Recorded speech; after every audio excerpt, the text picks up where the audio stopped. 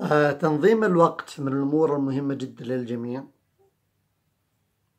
مهما كان نمطك إذا وقتك غير منظم تستطيع تستطيع أوقاتك وتشعر أنه ما عندك قدرة أنك تذاكر وتستوعب وتفهم وتحفظ. ولذلك ضروري أنك تقسم أوقات المذاكرة تبدأ بالأمر المهم جدا ثم الأمور الخفيفة تتركها لاحقا.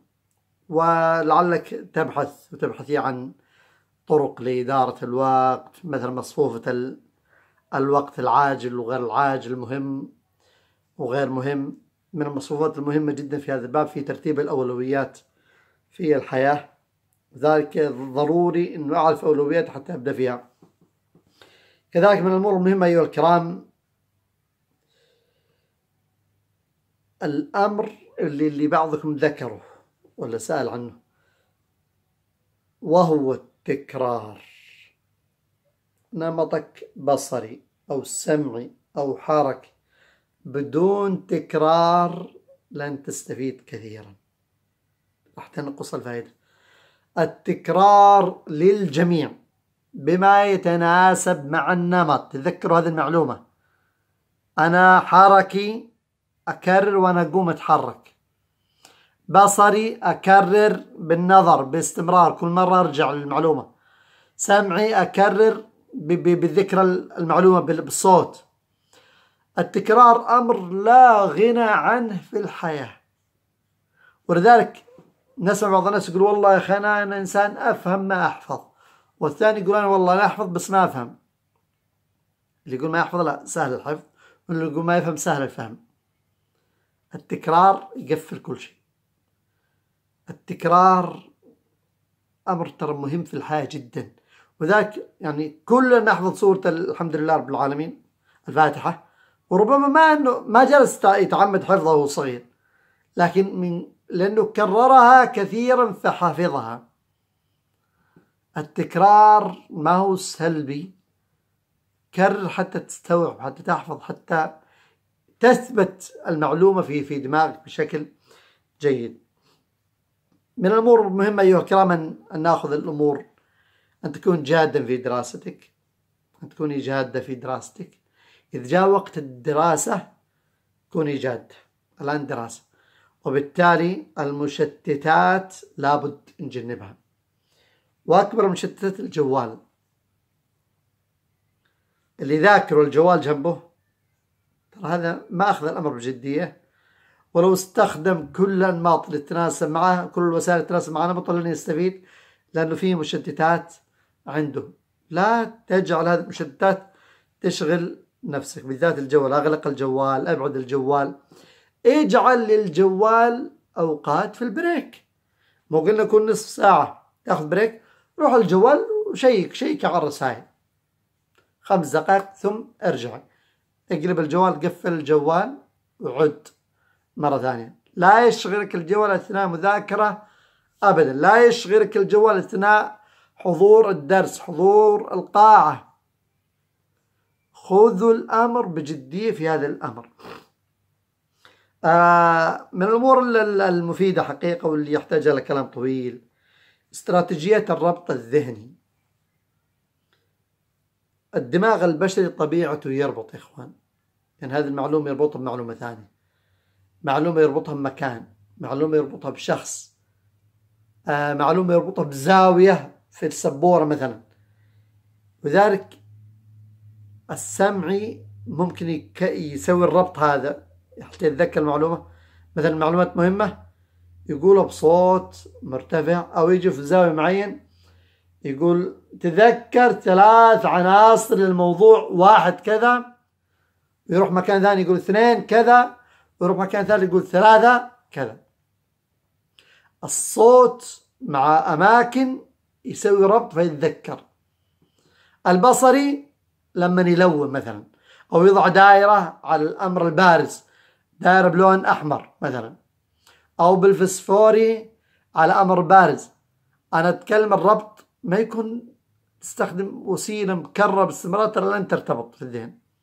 لن تستطيع تذكره بسهولة. لكن أربط الأشياء المهمة بطريقة جديدة.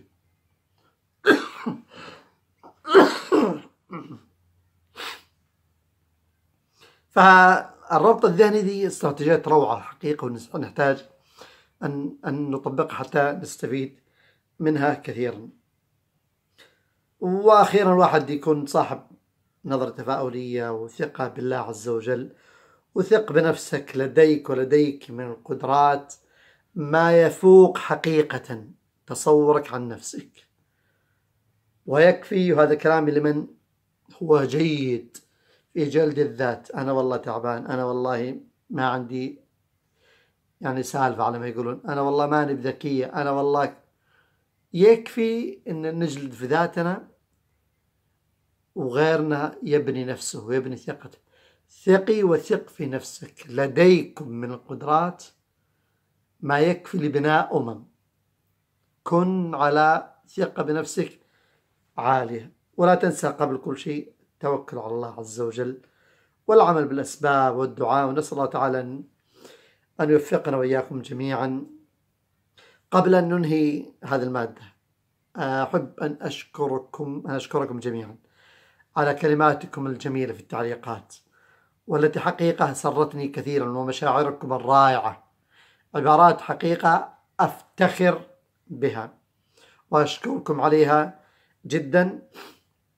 وخصوصا من من أبلغني عن مدى استفادته الكبيرة من المحاضرة الأولى والمحاضرة الثانية الثالثة ومن يخطط من معلم ومعلمة لتنفيذها مع طلابهم.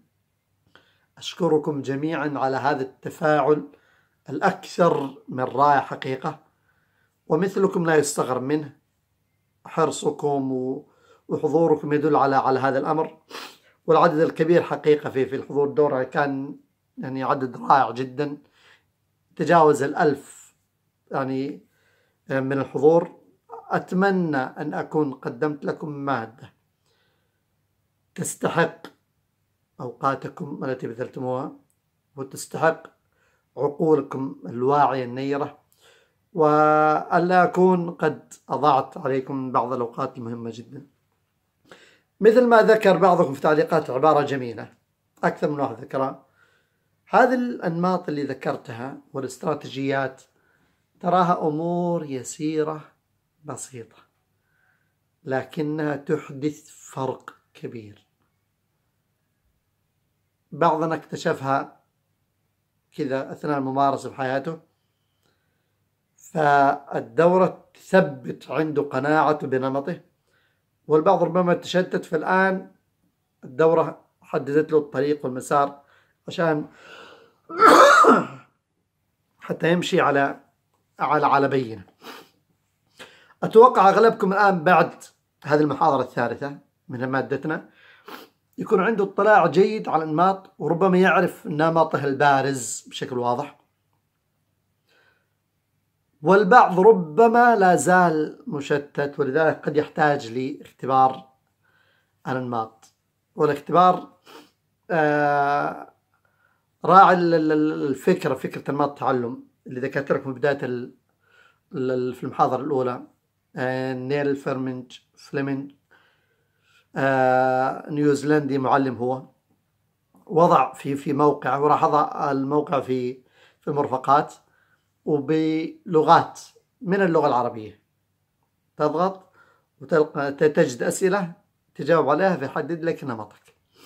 الأمر اللي أبغاكم تفهموه في اختباره إنه هو اعتمد النموذج الثاني من نمط التعلم اللي هو فارك مسميها في اللي هو المتعلم البصري والاي متعلم السمعي. اضاف هو R إحنا اليوم ما تكلمنا ولا ولا هو موضوعنا. إحنا تكلمنا عن الحركة. ال R القراءة والكتابة. write and read عشان كذا لما تختبر وراح تشوف كم جبت في ال في ال V مثلا اللي هو المتعلم البصري. وكم جبت في ال A المتعلم السمعي. وفي ال R اللي هو القراءة والكتابة. وفي ال K اللي هو الحركي بالنسبة لي ال R ممكن تضيفه مع البصري. فيصير عندك V و R اللي هو البصري وال A السمعي وال K الحركي. سوي الاختبار وشوف كم جبت الدرجات. وتعرف أعلى الدرجات هو نمطك. هذه باختصار. تستطيع إن شاء الله أن تفعلها. أه هل أنماط التعلم هي فاك ولا فارك أنا نفسي قناعتي أنه فاك كافية. والآر أشعر أنها زيادة وإنما هو متعلم بصري. يعني يقرأ ويكتب يعني بصري في النهاية. وإذا قال يكتب صار بصري وحركي. وذاك أنا حقيقة يعني أفضل ذاك فقط. سمعي وبصري وحركي فقط. كان بعضكم يسأل يقول هل يمكن أني أطور النقطة الثانية إذا أنا سمعي أقدر أطور البصر الحركي؟ الجواب ممكن. لكن هل هناك حاجة؟ ربما ترى أنه هناك حاجة ربما لا. الأمر هين بممارسة تمارين التذكر. أنا مثلا سمعي أبغى أتذكر أبغى أقوي تمارين التذكر البصري. أمارسها راح تفيدني مع الأيام. آه الآن كذا انتهينا وأسأل الله تعالى أن أن تكون هذه المادة مادة مفيدة وأن تكونوا استفدتم منها.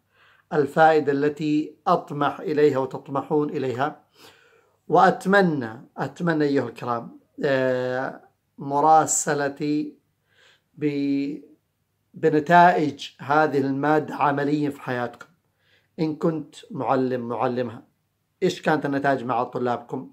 إذا أنت طالب أو طالبة إيش كان نتائج استفادتكم من هذه المادة في في دراستكم؟ دعواتي لكم بالتوفيق وأسأل الله تعالى أن يفتح لكم أبواب الخير وما كنتم. ونستودعكم الله الذي لا تضيع وداعه السلام عليكم ورحمة الله وبركاته.